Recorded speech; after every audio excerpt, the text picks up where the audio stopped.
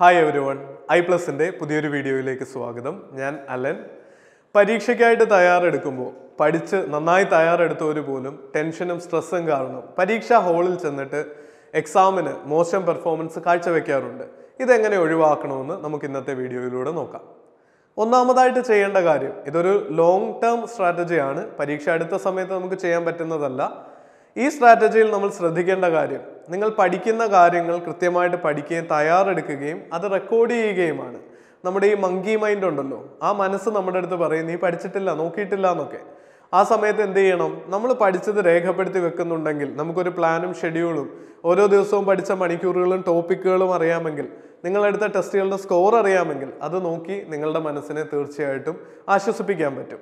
രണ്ടാമത്തെ പോയിന്റ് പരീക്ഷ ഹോളിൽ ചെയ്യേണ്ട ചില കാര്യങ്ങളാണ്. നമുക്ക് ബ്രീത്തിങ് ശ്രദ്ധിക്കുന്നത് അതിൽ ഫോക്കസ് ചെയ്യുന്നത് എപ്പോഴും നമ്മളെ സെന്റർ ചെയ്യാനായിട്ട് സഹായിക്കും. എക്സാം ഹോളിൽ മറ്റാരും നിങ്ങളെ നോക്കുന്നുണ്ടാവില്ല. കമ്പ്യൂട്ടറൈസ്ഡ് ടെസ്റ്റ് ആണല്ലോ നിങ്ങളുടെ ക്യൂബിക്കിൾ ഉണ്ടാവും. ആ സമയത്ത് ജസ്റ്റ് ഒന്നോ രണ്ടോ മിനിറ്റ് കണ്ണടച്ചിരിക്കുക. ബ്രീത്തിങ്ങിൽ ശ്രദ്ധിക്കാനായിട്ട് ശ്രമിക്കുക. ഇനി അതും പോസിബിൾ അല്ലെങ്കിൽ നിങ്ങളുടെ വയറ്റത്ത് വെറുതെ രണ്ട് കൈകളും പാരലായിട്ട് വയറിന് മുകളിലേക്ക് വെക്കുക. അപ്പോൾ നമ്മൾ ശ്വസിക്കുന്നത് ശ്വാസം എടുക്കുന്നതിനനുസരിച്ച് കൈ ഉയരുകയും താഴുകയും ചെയ്യുന്നത് നമുക്ക് അറിയാൻ പറ്റും. ഒന്നോ രണ്ടോ മിനിറ്റ് അതിൽ ഫോക്കസ് ചെയ്യുമ്പോൾ നിങ്ങൾക്ക് പ്രാർത്ഥിക്കുന്നത് ഇഷ്ടമുള്ള ആളാണെങ്കിൽ പ്രാർത്ഥിക്കാം. പരീക്ഷ നന്നായിട്ടിരിക്കണമേ. അല്ലെങ്കിൽ നമുക്ക് ചിന്തിക്കാം ഞാൻ ഇത്രയും നാൾ പഠിച്ചത് കൃത്യമായിട്ട് ഇന്ന് എഴുതാൻ എനിക്ക് സാധിക്കും. മനസ്സ് ശാന്തമായിട്ടിരിക്കുമ്പോഴാണ് അത് പറ്റുക. അതെനിക്ക് നന്നായിട്ട് അറിയാം. അതുകൊണ്ട് ഇന്ന് ഞാൻ കാമാൻ കൊയറ്റായിട്ട് പരീക്ഷ എഴുതും. ചോദ്യങ്ങൾ ശ്രദ്ധിച്ച് വായിക്കും.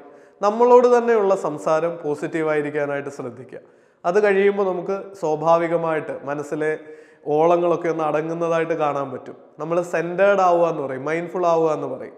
ആ ബ്രീത്തിങ്ങിൽ ശ്രദ്ധിച്ച് ഒരു രണ്ട് മിനിറ്റ് സ്പെൻഡ് ചെയ്യുമ്പോൾ നമുക്ക് സമാധാനമായിട്ട് ബാക്കി കാര്യങ്ങൾ നോക്കാനും പറ്റും.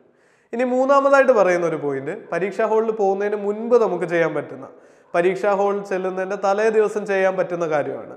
രാത്രി ഒരു പത്ത് മണിക്കെങ്കിലും കാര്യങ്ങളൊക്കെ മാറ്റി വെച്ചിട്ട് പഠനമൊക്കെ അവസാനിപ്പിച്ച് പരീക്ഷാ ഹാളിൽ പോകാൻ വേണ്ട ഹോൾ ടിക്കറ്റും മറ്റു കാര്യങ്ങളും മാത്രം എടുത്ത് നിങ്ങൾ തയ്യാറായിട്ടിരിക്കുക.